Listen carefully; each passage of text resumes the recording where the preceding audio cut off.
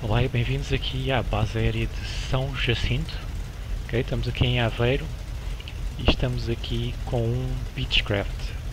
Este é um AT-11, um AT-11, um modelo feito pelo Milton Shoup, é um modelo grátis. Uh, eu vou pôr depois o link na descrição. E é um modelo bastante interessante de avião. Nós já vamos falar um bocadinho sobre o avião em si, mas primeiro Vamos aqui ver o cockpit, dá para esconder aqui uh, o manche. E é um, está um bocado escuro, eu sei, uh, mas é mesmo assim, se calhar vemos melhor aqui no cockpit 2D. Tem, é um cockpit bastante detalhado, apesar de ser um avião já bastante antigo. Mas dá para fazer bastantes coisas, temos bússola, temos aqui isto que é o piloto automático, que funciona um bocadinho diferente do piloto automático do Cessna. Mas já vamos ver como é que isso funciona. Os restantes instrumentos são, não, não muda muito, não é? Temos aqui uh, Airspeed Indicator, o velocímetro, aqui a velocidade vertical, uh, ele tem aqui dois Manifold Pressure, a pressão do Manifold, porque temos dois motores, não é? Rotações por minuto, a mesma coisa, aqui o horizonte artificial, bússolas, uh, aqui o combustível, tudo isso que nós já estamos habituados. Ok, vamos lá levantar voo, vamos pôr aqui um bocadinho de flaps e os flaps dá para ver aqui, temos a 15%, em princípio será, será o que a gente precisa. Já estive a ligar aqui, estão as luzes todas, não é? Já estive a ligar aqui as landing lights. Um, o que nós podemos também pôr aqui, eu não sei se ele tem ou não, que é a bomba de combustível. Não sei se tem ou não, mas pronto, isto dá para irmos assim. Podemos abrir aqui os cowl flaps, que é para arrefecer o motor. Ora, os cowl flaps, eu tenho que ir aqui outra vez para o 2D. Cowl flaps, se não me engano. Ah, só se não tem. É que eu tive também a voar no Beechcraft 18, que é a versão que deu origem a este Beechcraft. E no Beechcraft 18 eu sei onde é que estão uh, as bombas de combustível. Neste aqui não sei, mas pronto, também não é necessário. Vamos é, seguir viagem. Vamos aqui começar. Um, a visão é, é, péssima, o avião é mesmo assim. Ele foi modificado para levar... Ah, porque este avião é de treino de bombardeamento. Portanto, ele foi modificado para levar outra pessoa à frente, no nariz, para os bombardeamentos. E essa pessoa é que tem a melhor visibilidade. Portanto, nós não temos grande visibilidade principalmente na aterragem. Pronto, vamos aqui levantar voo.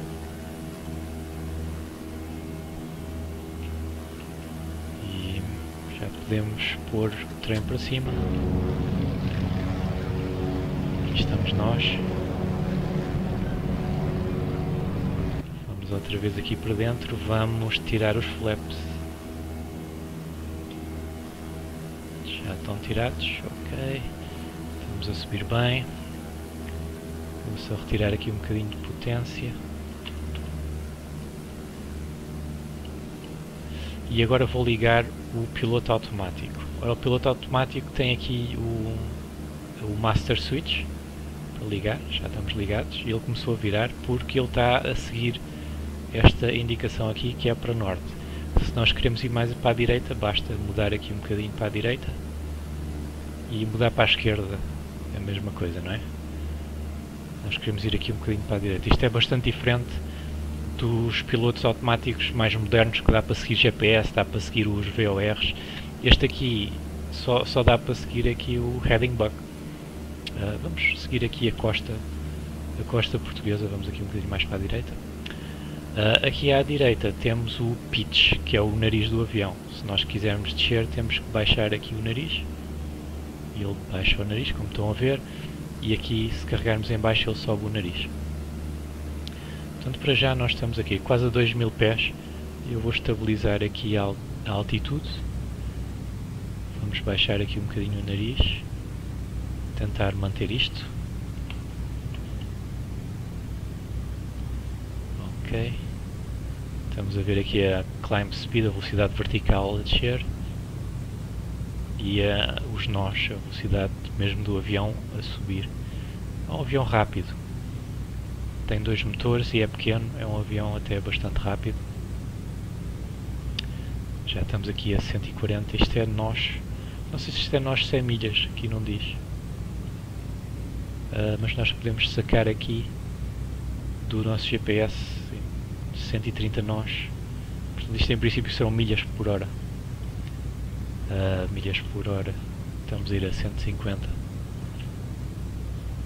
Ok, vamos baixar aqui um bocadinho mais o nariz. Podemos tirar também o acelerador. Tentar estabilizar aqui a nossa altitude. Ok, vamos ver aqui o avião por fora. Já agora aqui. Vermos aqui a cidade de Aveiro. Este avião uh, foi construído pela empresa americana Beach Aircraft. Uh, e eles fizeram um modelo designado por Model 18, modelo 18 Twin Beach. E esse modelo realizou o primeiro voo em 1937 uh, e depois dos primeiros ensaios mudaram a designação para Beechcraft T-18S, ok? Que é um avião ligeiramente diferente deste que estamos a ver. Depois a, a força a Força Aérea do, dos Estados Unidos uh, interessou-se nesse avião e encomendou em 1941 11 unidades. E no ano seguinte encomendou 150 aviões em diferentes versões. Eles encomendaram o Beechcraft AT-7, que é bastante semelhante a este que estamos a ver aqui, para instrução de navegadores. O Beechcraft AT-10 Wichita, para instrução de pilotos. Uh, o Beechcraft AT-11 Kansan, que é o que nós estamos a ver aqui, para instrução de pilotagem de bombardeamento. Okay? Kansan são pessoas que nasceram no estado americano do Kansas. E também encomendaram o Beechcraft C-45 Expeditor, que é uma versão de transporte derivada do AT-10. Uh, a Marinha dos Estados Unidos também se interessou pelo Twin Beach e encomendou aviões equivalentes aos Beechcraft C-45 e AT-11 que estamos a ver da da Força Aérea dos Estados Unidos e uh, atribuiu-lhes um novo nome, uh, Beechcraft SNB e Beechcraft JRB, respectivamente. Uh, em Portugal, uh, Beechcraft pertenceu à aviação naval. Em 1948, a aviação naval adquiriu seis Beechcraft AT-11 Kanzan, que é exatamente o modelo que nós estamos aqui a ver. Receberam a numeração de BC1 a BC6, BC que significava Beechcraft. Um, ainda em 48 a frota foi aumentada com mais 6 uh, Beechcraft T-18S. Agora vou aqui mudar a vista para não ser tão chato e esqueci-me de desligar aqui as luzes da aterragem. Ok. Um, Ora, em Portugal não é os uh, Beechcraft AT-11 Kanzan uh, destinaram-se ao treino de tiro e bombardeamento. Tinham o nariz envidraçado para instalação do visor de bombardeamento. Podemos ver aqui, não é? Um, tinham uh, e era possível instalar uma torre dorsal de metralhadora, que é o que estamos a ver aqui. Uh, os Beechcraft D 18S, que não são estes que nós estamos a ver, era a versão anterior, foram utilizados em transporte e em treino de pilotagem e navegação. Efetuaram transportes de rotina de altas individualidades aos Açores, Cabo Verde e Guiné. O T-18S, com a matrícula BC-12, procedeu ao levantamento fotográfico do arquipélago dos Açores em 1949. Os aviões foram distribuídos pelas bases do Montijo e São Jacinto, que é em Aveiro, onde nós estamos agora. Estavam totalmente pintados em alumínio, ostentando a Cruz de Cristo, sem círculo branco, em ambos os lados das asas. As cores nacionais, sem escudo, cobriram os lemos de direção a toda a altura, assim como um pequeno, uma pequena âncora preta, símbolo da aviação náutica, nos estabilizadores verticais. As matrículas estavam pintadas a preto nos lados da fusilagem, perto da cauda, portanto, mais ou menos como está este americano aqui. Os aviões baseados em São Jacinto apresentaram também uma andorinha preta, símbolo da unidade militar. Temos aqui agora um bocadinho de vento.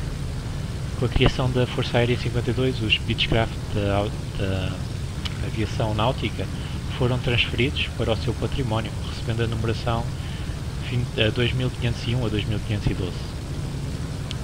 Uh, ainda em 52 a FAP recebe 7 Beechcraft C45 Expeditor de construção canadiana, aos quais atribuiu a numeração 2513 a 2519. A partir de 59 foram recebidos mais 6 C-45 construídos no Canadá e cedidos pela Real Força Aérea Canadiana, Royal Canadian Air Force, com a designação Beechcraft Expeditor Mark 3N. Uh, os Beechcraft da FAB foram colocados na base aérea número 1 Sintra, base aérea número 2 Ota, base aérea número 6 Montijo, base aérea número 7 São Jacinto, onde estamos, e aeródromo base número 1 uh, Portela, Lisboa. Depois de 61, uh, Luanda e o aeródromo de manobra uh, operaram um reduzido número de Expeditor. A FAP utilizou os Beechcraft na instrução navegadores, treino de pilotagem e em missões de transporte ligeiro. Um, a base aérea número 1 manteve bateu até cerca de 74 um a dois Beechcraft Expeditor destacados na ilha do Sal, em Cabo Verde. Ok. Portanto, podemos se calhar tentar aterrar aqui nesta nesta base aérea. Não sei. Isto é este. Isto não é o aeroporto do Porto, certeza. Talvez seja um aeroporto civil em Aveiro. Não sei. Ah, ora, o que é que nós temos aqui mais? Portanto, se fizermos aqui Shift 2, temos os rádios. Uh, aqui dá para nós sintonizarmos os rádios, aqui para escolher o rádio que queremos. Shift 3 temos o nosso GPS de bolso. Shift 4 temos aqui os nossos aceleradores. Shift 5 temos aqui o painel uh, sob a nossa cabeça. Isto são os magnetos para, para começar os motores. Uh, isto é Shift 6 temos as luzes, pitot-hits, uh, coisas elétricas.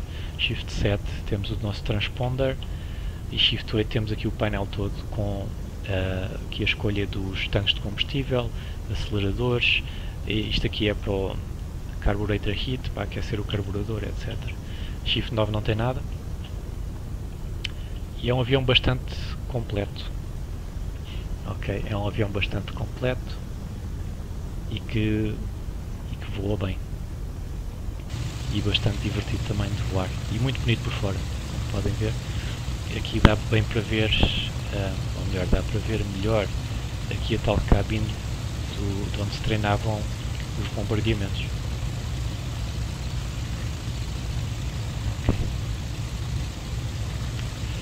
Bem, este foi o Beechcraft AT-11, modelo freeware de Milton Schupp, links na descrição.